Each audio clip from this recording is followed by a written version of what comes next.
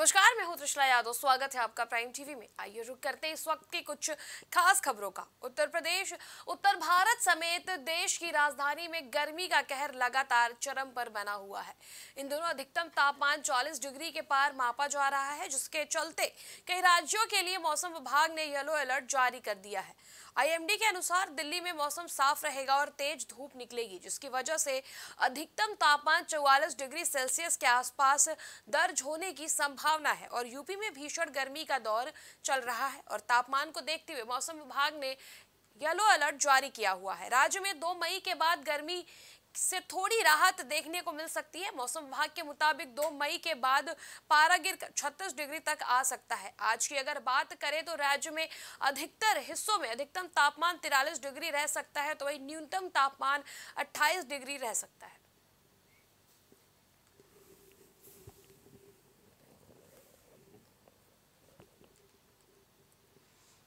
गोरखपुर पहुँचे प्रदेश के मुख्यमंत्री योगी आदित्यनाथ ने पहले जनपद में हो रहे विकास कार्यों का निरीक्षण किया। इस दौरान उन्होंने सहजनवा के अटल आवासीय विद्यालय का निरीक्षण किया। जिसके बाद सीएम बिछा बाईपास पर बन रहे फोर लेन का निरीक्षण करने पहुँचे और निरीक्षण के दौरान अधिकारियों को ज़रूरी दिशा निर्देश दिए। फिर सीधे सीएम योगी गोरखनाथ मंदिर पहुँचे और वहाँ बाबा गोरखनाथ के दर्शन करने के बाद उन्होंने अधिकारियों के साथ बैठक की। सर, आज मैं यहाँ पे पृथ्वी दिवस के उपलक्ष्य में आई हूँ। मैंने आज हम, हमारे स्कूल में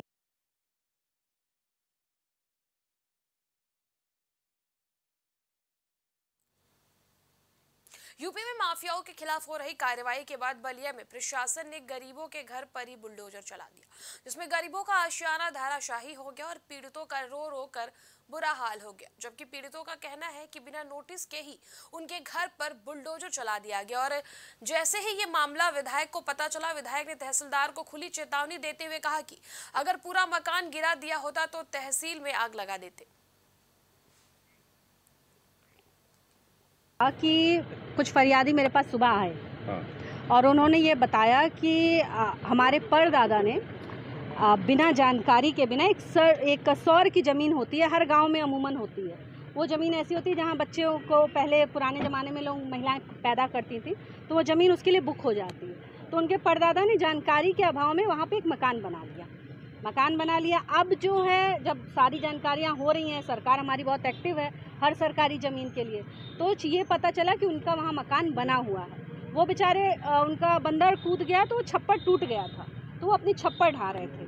तो बिना किसी नोटिस के वहाँ पे कुछ अधिकारी पहुँच गए बुलडोज़र लेकर और उसके घर को बुलडोज़र चला दिया उसके घर के ऊपर, जिसमें कुछ उसका हिस्सा टूट गया। और हमारे मुख्यमंत्री योगी आदित्यनाथ जी का साफ़ ये कहना है कि किसी भी गरीब के घर पर आ, या उसके किसी रोजी रोटी पर आप बुलडोजर नहीं चला सकते हैं। हमारा कुछ पता नहीं है कुछ से कोई से बात विचार नहीं है। पुलिस कम कम छो आ गए पढ़ने पाल भी आ गए हम लोग घर में घुस गए हमारा आदमी के मारने लगे डंडा डंडा विकलांग आदमी है।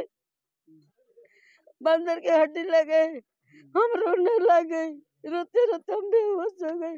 हम कल के नहीं जाने कि के हमरा दरवाज़ा पर आयल के द्वार पर आयल हमरा के विधायक जी आए हमारा मकान बचे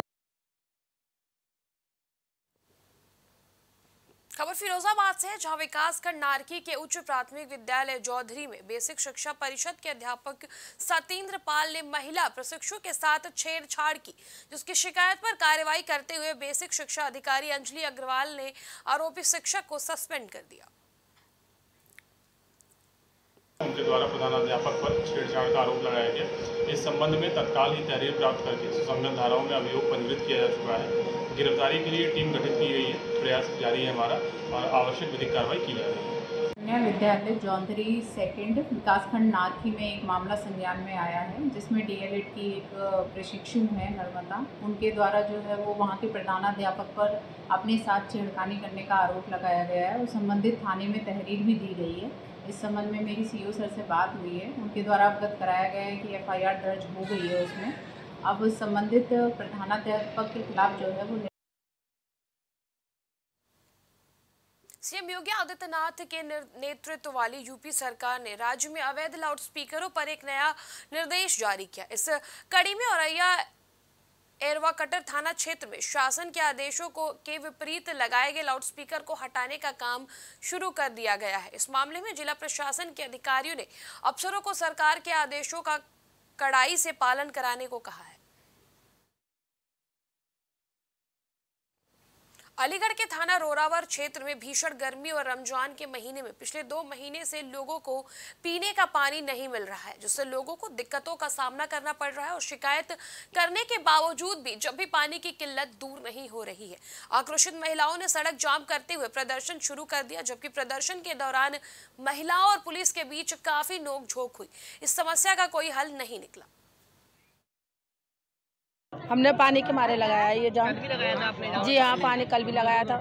हमें डेढ़ महीने से पानी नहीं मिल रहा है बिल्कुल भी। कल तो बोल दिया गया था आपको कल पानी मिल जाएगा। नहीं मिला। नहीं मिला बिल्कुल नहीं मिला पानी। ये झूठ बोल बोल के हमें यहाँ से पब्लिक को हटा देते हैं ये लोग सब। मगर पानी नहीं आता हमें यहाँ पर। पूरी रात हो गई हमें चलाते चलाते पूरा दिन हो गया चलाते चलाते एक बूंद पानी नहीं आया। बस लाइट फूक रही है बिल जब हमारा बिल बढ़ महीने से। बिल हमारे बढ़ रहे हैं। काम धंधे है नहीं है। इधर पानी की परेशानी वज़ू तक को पानी नहीं है हमारे पास। हम मतलब पानी एक एक डिब्बा लेके एक एक लोटा लेके हम चारों तरफ़ भागते फिरते हैं हम। अब ये पता पता आदमी और पानी नहीं आ रहा तो पता क्या करें हम? इसलिए हमने यहाँ धरना दिया हमें पानी चाहिए। खबर रायबरेली से है, जहाँ गुरु बख्शगंज थाना क्षेत्र के पुरई में एक बेटे ने अपनी ही माँ को धारदार हथियार से वार करके मौत के घाट उतार दिया। इस पूरे मामले की सूचना पर पहुँची पुलिस ने आरोपी को गिरफ़्तार कर दिया और मृतका के शव को कब्जे में लेकर पोस्टमार्टम के लिए भेज दिया है। पुरई गाँव में गौरी साहू, पत्नी बलवंत साहू, जिनकी उम्र लगभग पचपन वर्ष है उन्हीं का पुत्र नीरज साहू रुपलाला ने फरसा, यानी कुदाल, से चेहरे पर अवसर सर पर वार किया है, जिससे कि उनकी मृत्यु हो गई है। पंचायतनामा खबर सीतापुर से, जहाँ इस समय सभी सरकारी विभागों में हड़कम मचा हुआ है कि कहीं नए जिलाधिकारी की गाज उन पर न गिर पड़े, क्योंकि जब से जनपद में डीएम अनुज सिंह की तैनाती हुई है, वो ताबड़तोड़ हर विभाग का निरीक्षण कर रहे हैं। इसी कड़ी में वो सिधौली तहसील के औचर निरीक्षण पर पहुँचे, जहाँ निरीक्षण के दौरान अधिवक्ताओं ने उनको ज्ञापन भी सौंपा।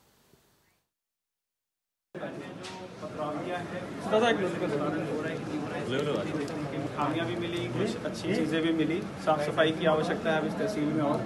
जैसा कि माननीय मुख्यमंत्री जी ने भी समय समय पर निर्देश दिए हैं कि जो सरकारी प्रांगण है उसमें साफ़ सफ़ाई सफ़ाई की व्यवस्था पर्याप्त रहे। कुछ हमारी अधिवक्ता गणों ने भी कुछ मांग उठाई है। बाकी पत्रावलियों को और तेज़ी से निस्तारण करने हेतु निर्देश दिए गए हैं। यहाँ के कामकाज में आपको शीघ्र ही बदलाव देखने को मिलेगा। तहसील सिधौली में जो नल लगे हुए हैं प्रांगण के अंदर, उनमें कचरा पानी आता। पानी ठीक पीने लायक नहीं, बहुत दूषित पानी है। बाहर भी कोई सुरक्षित व्यवस्था नहीं है। यहाँ गाँव से बहुत छोटे लोग, गरीब लोग आते हैं। भाई, वो बीस रुपये बोतल नहीं ले सकते। तो मेरा एक ये अनुरोध उनसे है कि अलीगढ़ के कोतवाली खैर क्षेत्र के पलवल हाईवे पर दिल्ली से मथुरा जा रहे बाइक सवार को बेखौफ लुटेरों ने रास्ता रोक रोक कर लूट की वारदात को अंजाम दे दिया और मौके से फरार हो गए, जिसके बाद पीड़ित राहगीरों की मदद से खैर कोतवाली पहुंचकर मामले की शिकायत दर्ज कराई है। वहीं पीड़ित की शिकायत मिलने पर पुलिस लुटेरों की तलाश में जुट गई है। थाना खैर अंतर्गत मोटरसाइकिल चोरी की सूचना प्राप्त हुई थी। सूचना प्राप्त होते ही थाना अंतर्गत एफआईआर दर्ज कर आवश्यक कार्रवाई की जा रही है। मैम पीड़ित का कहना है कि कुछ और ही तहरीर दी गई थी उसके द्वारा। जी नहीं पीड़ित के द्वारा जो तहरीर दी गई उसी पे मुकदमा दर्ज है। थाना खैर अंतर्गत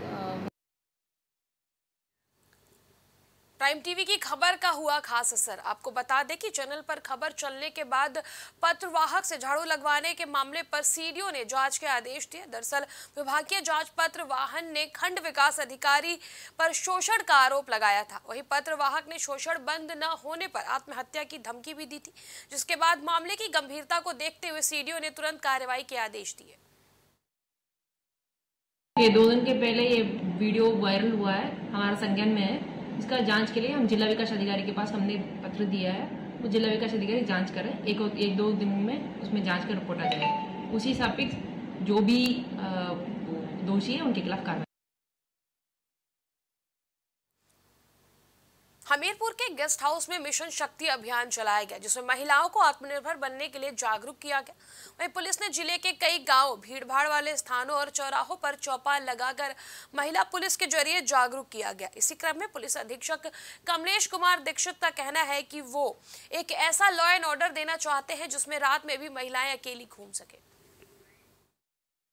आज मिशन शक्ति के तहत शहर की संभ्रांत महिलाओं, स्कूल की बच्चियों के साथ एक कार्यक्रम आयोजित किया गया, जिन्हें जागरूक किया गया कि अपनी सुरक्षा कैसे करें और पुलिस विभाग को अगर किसी अप्रिय स्थिति में किन किन नंबरों से सूचना दें, जिससे कि तत्काल उनकी सहायता की जा सके। सभी द्वारा इस संबंध में जानकारी भी, में दी गई और सबको अवगत कराया गया और सबने आश्वस्त भी किया कि भविष्य में किसी भी तरह की खतरा आने पर वो तत्काल इन्फॉर्म करेंगी और साथ ही ये आयोजन हमारा निरंतर जारी रहेगा, जिससे कि ये महिलाएँ एक स्वस्थ वातावरण में यहाँ रह सकें, उनकी सुरक्षा मैनपुरी में ऑनर किलिंग की सनसनीखेज वारदात सामने आई है, जहाँ प्रेम विवाह करने पर भाई ने बहन की हत्या कर दी। साथ ही युवती के पति को भी गोली मार दी। आरोपी ने चाचा के साथ मिलकर इस वारदात को अंजाम दिया। वहीं युवक को गंभीर हालत में मेडिकल कॉलेज सफ़ाई रेफर किया गया। एसपी ने घटनास्थल का निरीक्षण कर जानकारी जुटाई और आरोपियों की गिरफ्तारी के लिए टीमों का गठन किया। इस घटना को अंजाम देते समय काफ़ी निशंस तरीके से उसकी हत्या की गई। उसके हस्बैंड को भी गोली मारी गई, वो अभी जीवन संघर्ष कर रहा है। माँ को भी इन्होंने गोली मारा बट तमंचे के पट से मारा।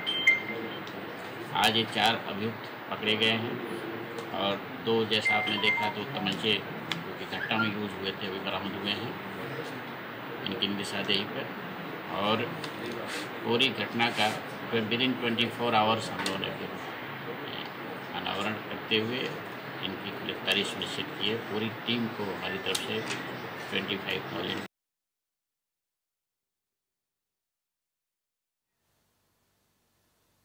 तक की खास खबरों में इतना ही। देश, दुनिया की और ताजो तरीन खबरों के लिए देखते रहिए प्राइम टीवी